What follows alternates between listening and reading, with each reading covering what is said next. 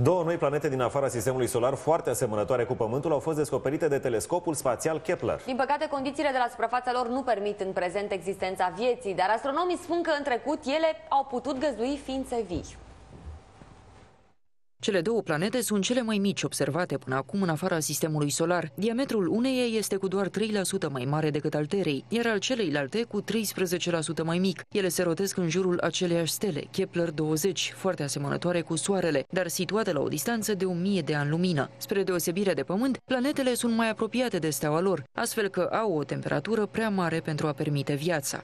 In the past, perhaps, if it was further from its sun, it may have been cooler, it may perhaps have had oceans of water, possibly perhaps even have been suitable for life. Descoperirea celor două planete este însă încurajatoare pentru cercetători, deoarece dovedește că telescopul Kepler poate detecta și corpuri cerești de dimensiuni mai mici. Oamenii de știință speră că într-o zi vor putea afirma cu certitudine că pe o anumită planetă există viață, chiar dacă nu neapărat inteligentă. I think we will find many more planets that are Earth-like planets, and I think we will find life out there.